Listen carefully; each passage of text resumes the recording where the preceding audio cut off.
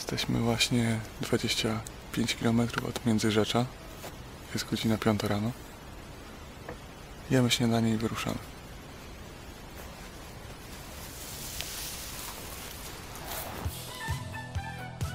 Najciekawsza atrakcja ziemi lubuskiej. Jeden z najciekawszych i największych obiektów pomilitarnych w Europie. Międzyrzecki rejon umocniony. To potężny system po niemieckich fortyfikacji wybudowany w latach 30. XX wieku na pograniczu niemiecko-polskim, stanowiący element tak zwanego Ostwału, wału wschodniego. Położony jest pomiędzy Odrą i Wartą i rozciąga się na odcinku około 100 km, a podziemne korytarze wybudowane są na głębokości od 30 do 50 metrów pod ziemią. Siedzę na lufie.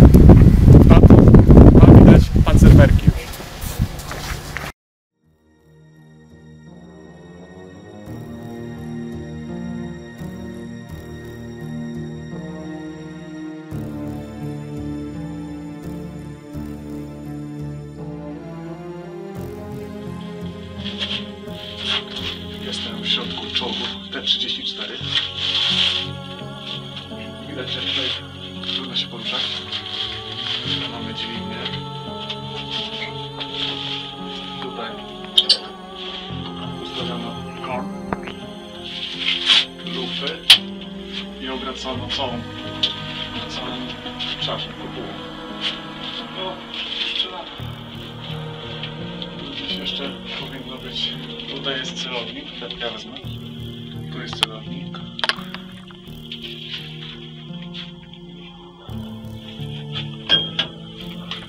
Masz kamerę? Nagrajmy przed. Prawo, lewo. Lewo na prawo. Tutaj były umieszczane pociski. Położone były na tych. Raz, dwa, trzy, cztery. Na tych szafeczkach. Z tamtej strony z kolei silnik. Tutaj wizjery. Wizjery. Odłamkowy ładuj. Odłamkowy załadowany. Celuj. Ognia!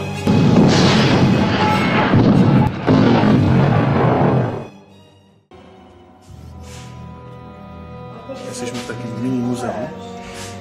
Wszędzie są pozostałości e, z tych podziemi. Tutaj mamy miny. Popatrz. Wystarczyło stanąć lub najechać pojazdem na taką minę i, i następował patrz, hełm.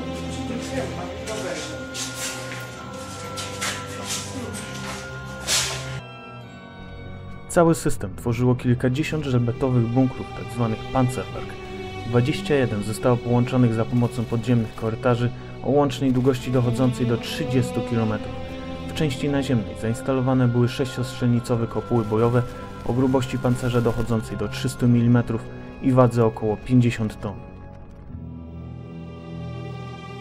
Plan budowy Festungsfront Oder-Wartebogen zakładał, że będzie to najsilniejsza pozycja niemiecka, silniejsza i nowocześniejsza od francuskiej linii Maginota. Do 1938 roku wybudowano tutaj około 80 budowli pancernych, tzw. pancerwerków.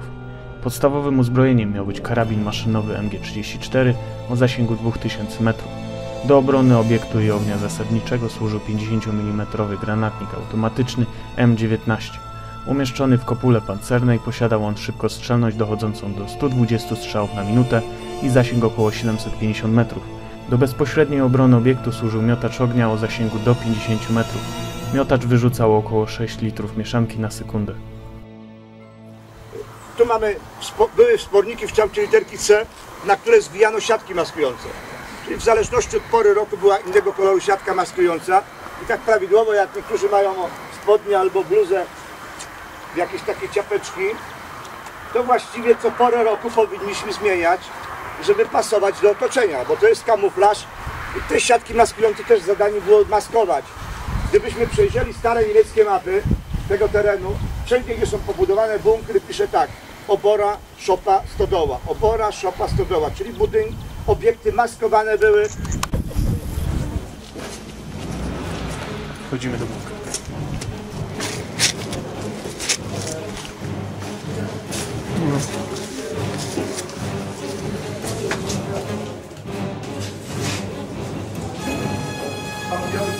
Pan Bóg sprawi, że ktoś tej strony nie został w tyłu na już.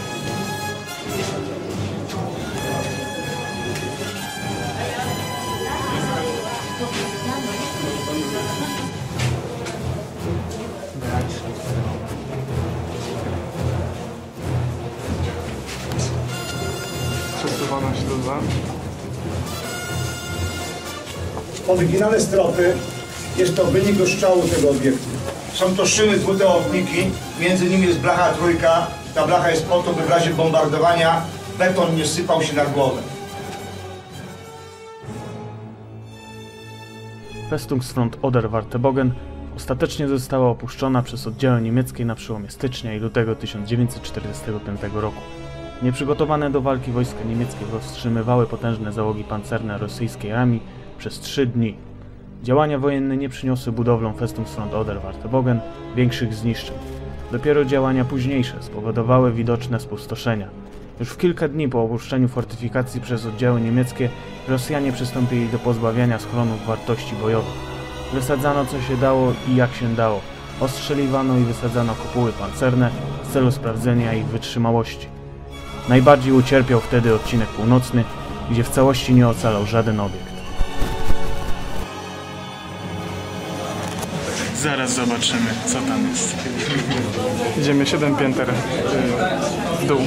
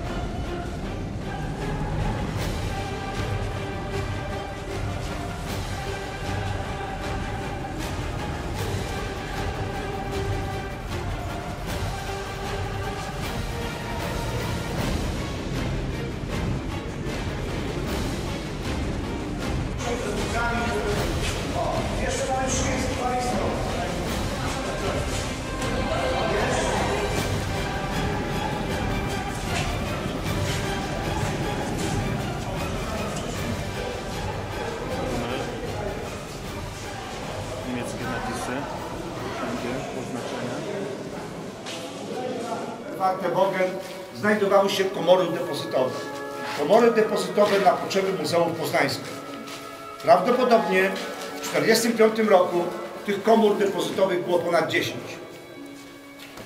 I Rosjanie, którzy tu się tu pojawili pod koniec lutego 1945 roku, a w marcu z podziemi międzyrzeckiego rejonu industrialnego wywieźli ponad 22 wagony. Te 22 wagony jest to informacja niemiecka, czyli informująca. Prawdopodobnie Niemcy zostali wykorzystani też przez Rosjan do ładowania tych wagonów.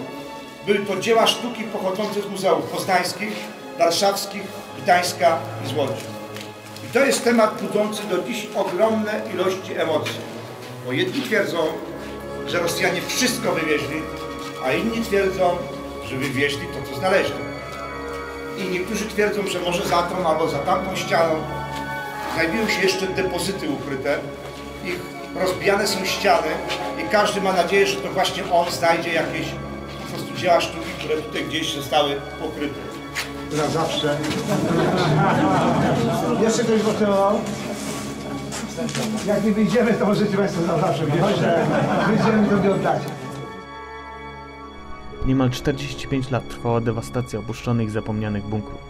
Porzucone przez ludzi podziemia przeszły we władanie nietoperzy. Prowadzone od ponad 20 lat badania wykazały, że fortyfikacje międzyrzeckiego rejonu umocnionego są jednym z największych zimowisk nietoperzy w Europie.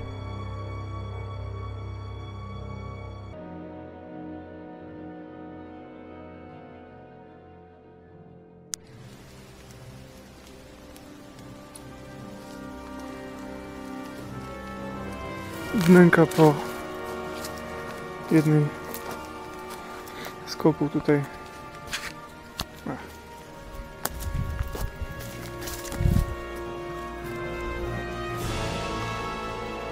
Chyba wysadzona jedna.